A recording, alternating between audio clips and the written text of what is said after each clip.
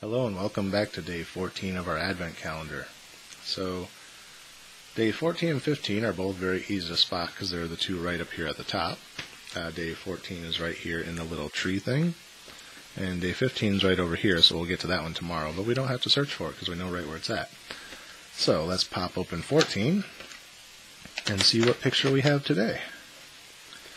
Uh, judging from the back of the chocolate. when I say the back of the chocolate, I'm going to show you guys. These are actually in backwards, so I don't actually see what it is. I see the back. Okay, sorry about that. Apparently, I accidentally hit the space bar and stopped my recording. Uh, but yeah, so, oops, Too late for that.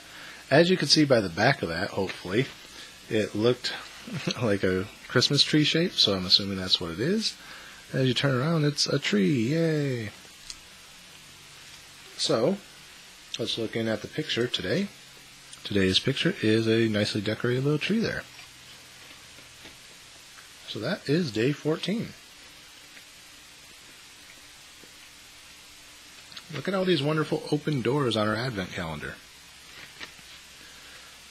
I'm almost tempted to like completely peel them off so you can see all the photos behind them, but I don't think you're supposed to do that.